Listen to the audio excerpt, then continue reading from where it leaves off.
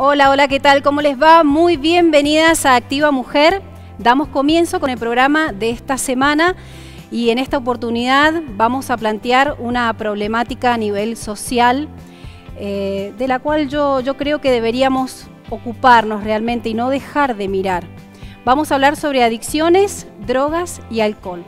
Estas sustancias que están muy pero muy al alcance de cualquier persona, de nuestros jóvenes, de nuestros hijos, adolescentes. Eh, es vital conocer información respecto a este tema. Sabemos de que nadie está exento de padecer algún tipo de adicción y como les decía, eh, conocer respecto a esto de alguna manera nos ayuda a prevenir. Para abordar este tema hoy nos acompaña gente que integra el grupo Renacer y por supuesto mis compañeras Susana Vargas y Viviana Rato, ¿cómo les va chicas? Hola, ¿qué tal? Bueno, ellas también nos van a aportar información muy valiosa también respecto a algunos índices, estadísticas a nivel país y a nivel provincial. Recibimos a nuestras invitadas, Juliana, eh, Juliana Chitadino, psicóloga, ¿cómo estás? Bienvenida. Y María Cristina Cañada, coordinadora. Eh, las dos, bueno, integran el staff del grupo Renacer. Bienvenidas. gracias por estar acá. Bueno, voy a comenzar, Juliana, preguntándote sobre el grupo etario más vulnerable, ¿sí?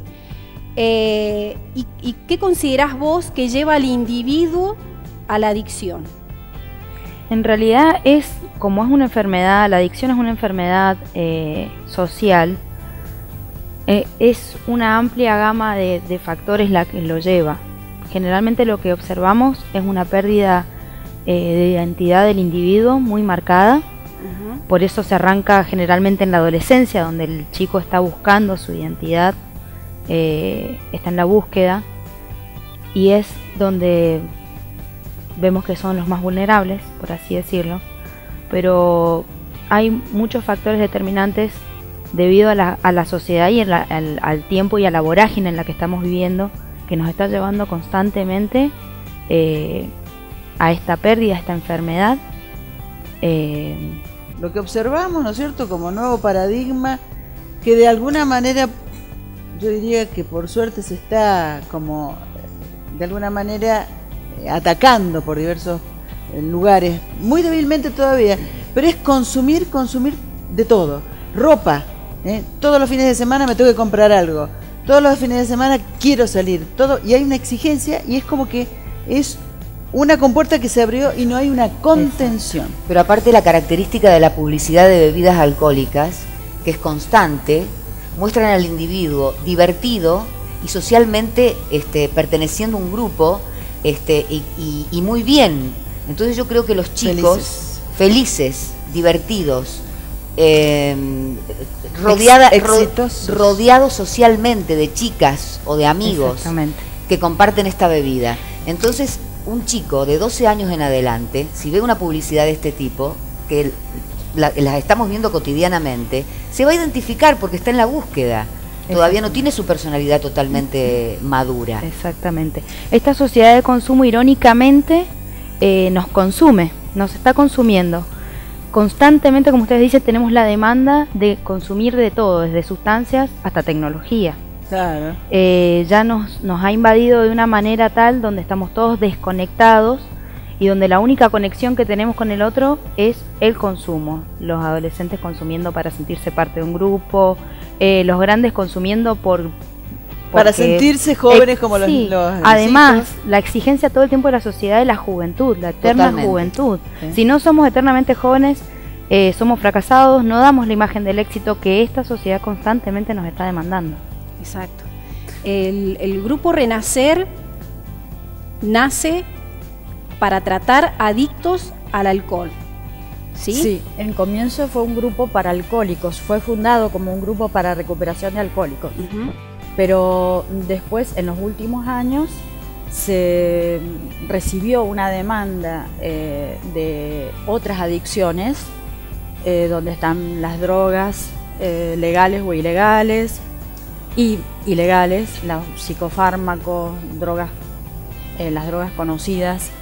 Entonces se tuvo que abrir el grupo a, esta nueva demanda social. Eh, así que se abrió el, espectro de em, pacientes que tiene el grupo. Por eso se llama Fundación SOS, ¿verdad? Sí. El SOS de el pedido de de socorro. pedido de ayuda. Sí, porque el grupo es básicamente para tratamiento y recuperación. Nosotros trabajamos en lo que es tratamiento y recuperación. Bien. Eh, eh, ¿Ustedes tienen eh, vistos o, o puntualmente, porque es muy complejo el tema, ¿no? Depende de cada adicto o cada alcohólico, eh, por lo que caen en esto. Eh, pero hay características que coinciden con todos de por qué caen en esta adicción. La característica fundamental que observamos por lo menos en el grupo es lo que hablaba recién, la pérdida de identidad. Una pérdida desde trasladada desde una persona muy joven que a medida que fueron pasando los años esa enfermedad fue afectando cada vez más su identidad o los jóvenes que están en búsqueda de su identidad y llenan esto, Exacto, esta vacío, búsqueda, esta búsqueda está llena de, de sustancias o, o de consumo desmedido. Porque a mí me parece que los adolescentes de hoy, y lamentablemente el consumo ah, eh, ya en Argentina hay cifras que hablan de 12 años, entre 12 y 16 años ha aumentado mucho el margen, eh, lo que están, eh, están buscando, están buscando eh, una identificación, pero también tienen, es como que ven que la gente que llega al éxito, porque también somos una sociedad muy exitista, la gente que llega al éxito, muchos, no todos, esto lo quiero aclarar, no todos, son corruptos. Entonces no ven un horizonte con... eh, Con valores que con sean valores, con, potables. con valores que nosotros capaz que llegamos a vivir y que han cambiado tanto. Y esos valores están tan transgredidos y tan eh, terminados o, o dados vuelta que no sienten que tienen futuro muchos de ellos. Coincido absolutamente. Y además con el agravante de que esta sociedad exitosa es la gran consumidora Claro. de drogas, de, digamos, de drogas premium. Exacto. ¿Qué pasa, por ejemplo, con... eh, A ver, se está naturalizando cada vez más el consumo de alcohol en las previas, en las juntadas, el boliche, por supuesto.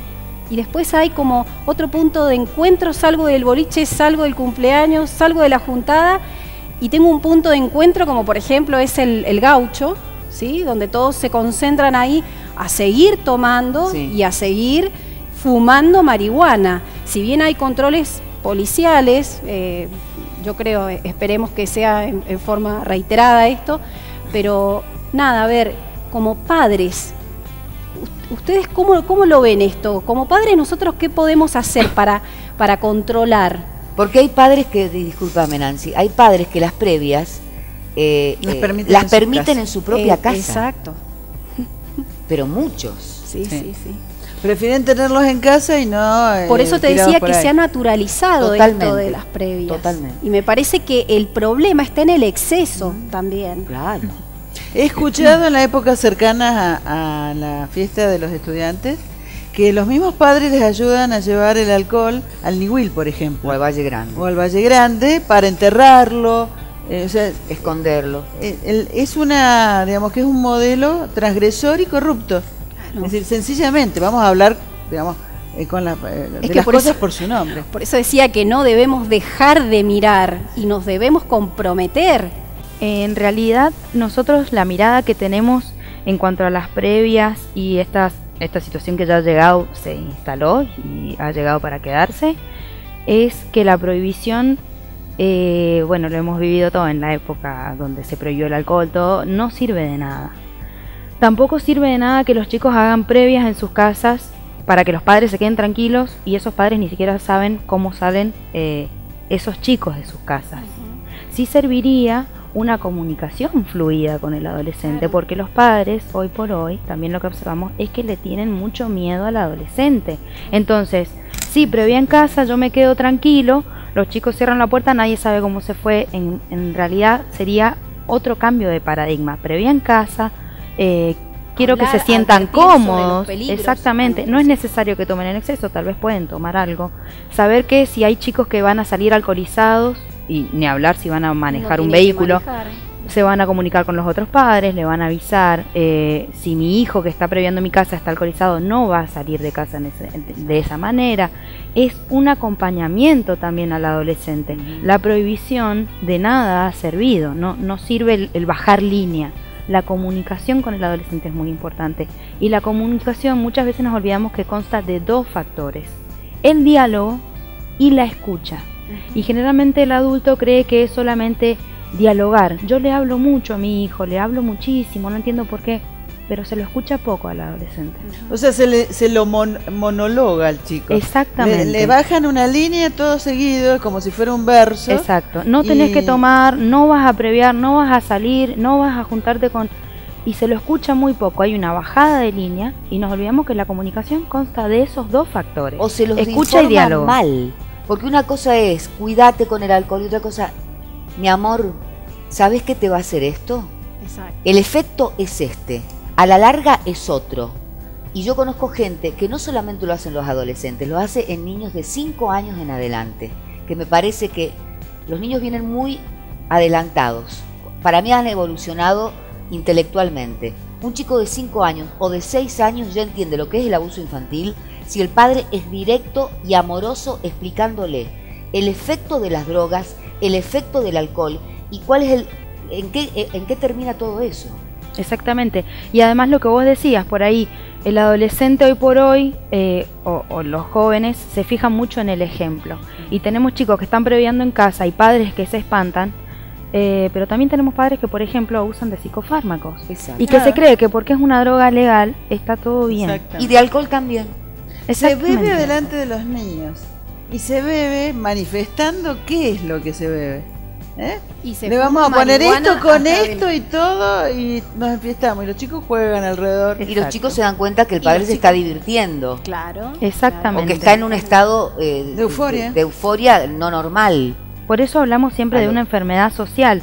Se, se, quiere por ahí enfocar todo en un punto, por ejemplo, los adolescentes que son eh, los consumidores que más preocupan por ahí por la edad, y en realidad nos olvidamos de que los adultos vamos educando a través del ejemplo. De nada sirve bajar línea, no tomes, no tomes, si el chico ve que los padres eh, abusan de psicofármacos para dormir o de antidepresivos. Si, si ellos observan que hay un consumo desmedido o problemático en sus padres, ellos piensan, absolutamente porque son muy inteligentes, a ver, ¿con qué con qué moralidad viene a decirme que hay algo que yo no puedo hacer si yo veo que ellos lo hacen. Claro, ahí está el problema de la autoridad, ¿verdad? claro, porque ellos también beben alcohol, ese es el tema también. Sobre todo en nuestra provincia, ¿quién no bebe un vino? No vamos a ser tan hipócritas tampoco, ¿no? ¿Quién no bebe un vino en la casa? Pero una cosa es un vino y otra cosa son cinco vinos. Sí, en realidad beber con moderación, saber beber, es una forma también de que los hijos aprendan cómo se puede beber moderadamente sin problemas, sin abuso. Por supuesto, cuando tienen edad en la que puedan consumir alcohol. Bueno, nos vamos a ir a una pausa, vamos a continuar hablando y planteando este tema. Voy a despedir a Juliana Chitaino, muchísimas gracias por tu aporte. Vamos a seguir conversando sobre este tema junto a otra psicóloga que integra el staff del grupo Renacer. Em, y mientras tanto nos vamos junto a Farmacia 16 Horas de Avenida Libertador 206 el regalo para papá este mes está allí, donde vas a poder encontrar exquisitas fragancias nacionales e importadas.